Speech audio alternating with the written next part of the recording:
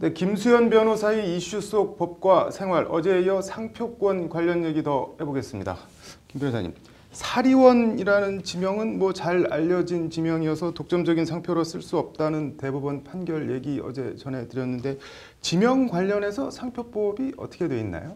네, 상표법에는 현저한 지리적 명칭이나 그 약어 또는 지도만으로 된 상표는 상표 등록을 받을 수 없다라고 규정하고 있습니다.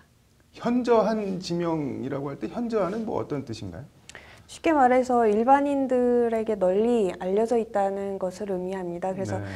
상표 심사 기준을 보면 지리적 명칭이라고 하더라도 관광지가 아닌 단순 지명은 현저한 지리적 명칭에 해당하지 않고 또 관광지라고 하더라도 널리 알려지지 않은 경우에도 이에 해당하지 않는다고 적혀 네. 있습니다. 그리고 대법원도 이에 대한 판단은 상표 등록 결정을 하는 그 시점을 네. 기준으로 판단해야 하며 이 지명이 널리 알려져 있냐고 볼 수 있는 기준은 교과서나 언론 보도 그리고 설문조사를 비롯해서 일반 수요자들에게 널리 알려져 있는지 등을 네. 판단할 수 있는 사정을 종합적으로 판단해서 고려해야 한다고 판시하고 있습니다. 네, 그러니까 뭐 보통 사람들이 해당 상표가 지명인 줄 알 수 있을 것 같다라고 하면은 상표권이 인정이 안 된다는 얘기인 거네요. 그럼 네, 그렇습니다. 이거는 근데 왜 이렇게 하도록 한 건가요?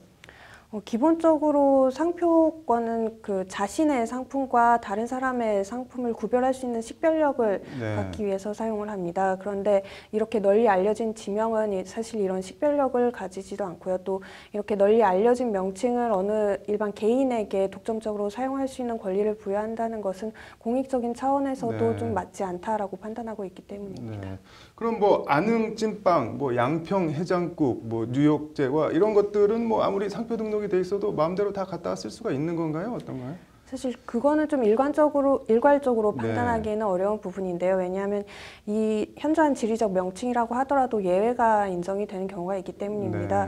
네. 예를 들어서 상표 추- 등록 출원을 하기 전부터 오랜 기간 동안 그 명칭을 사용해 와서 일반인들이 딱 들었을 때 식별력을 가질 수 있는 정도에 이르렀으면 그 상표권을 사용 등록을 할 수 있다고 예외를 두고 있는데요. 네. 대표적인 예로 서울우유가 그런 예고 뉴욕제가도 네. 이에 해당할 수 있겠습니다. 아, 그러니까 지명이 뭐 유명하다고 다 상표권을 인정하지 않는 거는 또 아닌 거네요. 네, 그렇습니다. 또 서울대학교 예도 있는데요. 서울대학교는 서울이라는 현저한 지리적 명칭과 대학교라는 일반 명사가 결합돼서 만들어진 네. 단어인데 이 서울대학교도 이렇게 결합으로 인해서 완전히 새로운 의미가 갖추어지게 된다면 식별력을 갖는다고 봅니다. 즉 네. 저희가 서울대학교라고 들으면 단순히 서울에 있는 대학교를 의미하는 것이 아니라 서울 관악구에 있는 종, 종합국립대학을 네. 의미한다라는 것은 사실 일반인들에게 다 알려져 있는 것이기 때문에 이 서울대학교라는 것도 상표권 등록을 네. 받아들이고 있습니다.